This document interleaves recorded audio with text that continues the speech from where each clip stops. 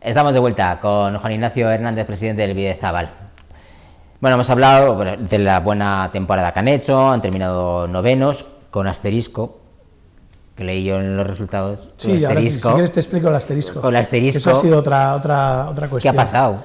Pues pasó que en la primera jornada, eh, supuestamente, porque está todavía subyúdice, supuestamente cometimos una alineación indebida. Entonces eso nos suponía 16 puntos de sanción, pero la Federación Española nos mandó el, expediente mm, de una forma eh, inadecuada y cuando recibimos el expediente el mismo día recibimos la sanción. Con lo cual lo hemos recurrido. En primera instancia, digámosle, como suspensión, nos dieron la suspensión cautelar eh, a falta de, bueno, teníamos que competir el sábado y nos la dieron el viernes, con lo cual hubo un, un, movimiento ahí de de clubs que unos tenían que competir en, otro, en un lado, en otro, tal, y al final está todavía pues pendiente de ese... O sea, que todavía no se ha resuelto. No, pero bueno, visto los resultados que hay ahora, nosotros hemos acabado novenos con 13 puntos, el, décimo tiene 11, en caso de que no nos dieran la razón, nos quitarían un punto, tendríamos 12 y seguiríamos siendo novenos, con lo cual... Entonces no hay variación, ahí, No, ahí no, varía, ¿no? No cambia. Bueno... ¿Qué le pedirías de cara a 40 aniversario, que es un, número redondo, Viezábal en la, la, temporada que viene, pero qué le pedirías al, Ayuntamiento de Durango? Pues un poco de comprensión e, y equidad, sin más. Ser todos, todos iguales, todos los que en Durango hacemos deporte, eh, en función de, pues de lo que ellos consideren, eh, pues tener una subvención a modo de lo que, del movimiento que tenemos y del nivel que tenemos. Mm, se lo he dicho más veces cuando hemos estado sentados, eh, yo considero que hacer mm, un baremo que encuadre a todos los clubs, siendo clubs diferentes, es complicado, que el primer año seguramente no será el más idóneo, pero es una forma de empezar y que todo el mundo entre en, el mismo, en la misma dinámica para que todos podamos podamos optar a una, a una subvención digna, porque al final nosotros, no sé, eh, es que al final eh, cuando se lo planteas a la gente, la gente no se lo cree, no se cree que un club como el nuestro tenga 1.500 euros de, subvención para funcionamiento, aparte de alguna actividad que también podamos tener que nos dé subvención. no sé, yo creo que cualquiera que, que sabe el movimiento que tenemos, vamos, 1.500 euros nos llega para, bueno, para un autobús y no muy lejos, y no muy lejos. Antes te iba a preguntar, ¿os sentís reconocidos? No, no, no. No, ni ahora ni desde hace mucho tiempo. Ni ahora ni desde hace mucho tiempo, porque al final, hombre, eh, nosotros, el atletismo es un deporte muy igualitario, quizá, no sé, de los más igualitarios que hay. Eh, yo tengo ya 50 y algo años y siempre, para mí el atletismo ha sido masculino y femenino, siempre, igual, con ninguna diferencia. Las diferencias que había muy pequeñas se han limado completamente, las pruebas ya son eh, las mismas, se disputan todos los campeonatos en las mismas sedes y al mismo momento, con el mismo público, con la misma televisión, como muy pocos deportes, y el atletismo es muy igualitario pero bueno, pues al final yo no quiero pensar que, que por ser el, equipo femenino, el destacado nuestro, sea el que tenga el que no tenga ese reconocimiento. Espero que no sea así. Eh, pero bueno, al final nosotros peleamos, somos un club integral completo, tenemos chicos también, pero históricamente han sido las chicas las que han tenido mejores resultados y bueno, pues eh, eh, al final esto es como cuando uno empieza a trabajar, pues ha estudiado una carrera, pero luego, por lo que sea, encuentra un trabajo en otra cosa y le gusta y sigue y, ahí está, ¿no? Pues nosotros estamos con las chicas y además pues, encantados.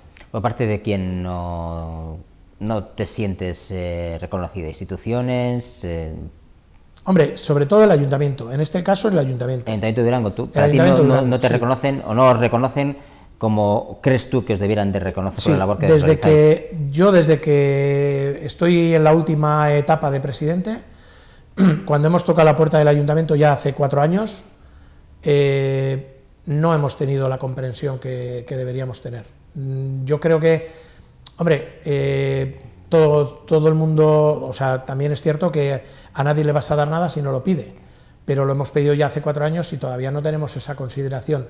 Y al final, eh, está claro que la comprensión es importante, pero al final las facturas se pagan con dinero y al final el, conseguir resultados eh, los estamos consiguiendo incluso a pesar de no tener el apoyo económico del ayuntamiento.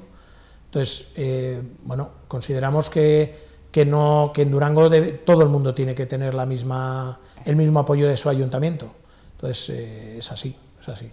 Como colaboradores, que veo ADW, sí. grandes profesionales, tengo que decir, sí, que trabajan con, con, nosotros y con las, y con las webs que, que tenemos. Pero bueno, tenéis más también, ¿no? Pero bueno, ¿qué tal? Equidom también, también colabora, colabora con nosotros bastante la Asociación de Comerciantes. Eh, bueno, tenemos y tenemos patrocinadores que, bueno, que en esta época de crisis que hemos tenido, pues eh, es complicado ir a tocar puertas. Empezaremos ahora a tocar puertas, volveremos a, un poco a dar el, un poco a tocar esas puertas y a ver si, si tenemos un poco más de apoyo también.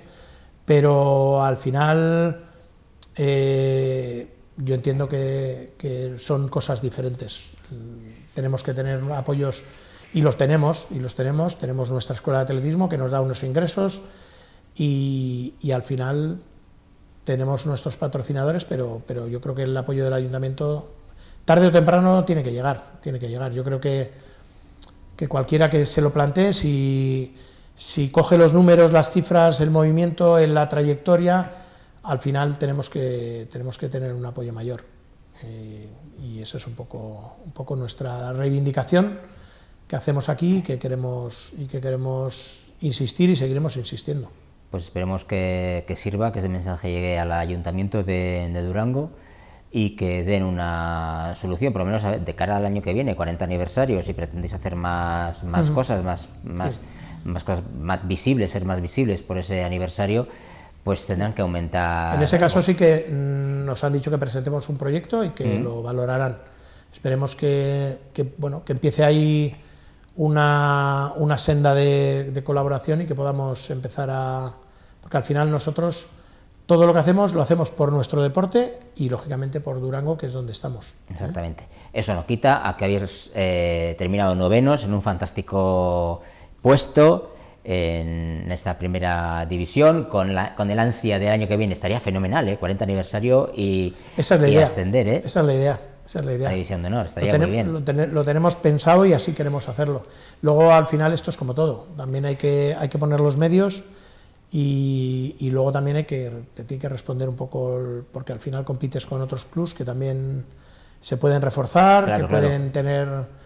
Pero bueno, nosotros hace tres años subí, ascendimos y yo creo que sabemos lo que tenemos que hacer para poder ascender y vamos a intentar conseguirlo. A ver si si podemos hacerlo. Bueno, pues por Sorionac, por esos resultados, por esos logros, a seguir luchando y el mensaje que has lanzado aquí, pues a ver si tiene. Ahora vienen la, esperemos que vengan las medallas individuales, ya desde el próximo. es verdad, claro, Desde este próximo fin de semana en Málaga, que tenemos una buena opción de medalla. A ver qué tal. Esperemos que. Seguro que sí. Esperemos que sí. Seguro que, sí. Seguro que la semana que viene me cuentas y... Sería una sorpresa no conseguirla. Exacto. Seguro que la semana que viene me cuentas y seguro que hay, varias medallas, seguro. Seguro. Juan Ignacio, muchísimas gracias. Un placer. Hasta cuando quieras. Vale. Nos despedimos. Hasta una próxima ocasión. Es que ricasco hoy.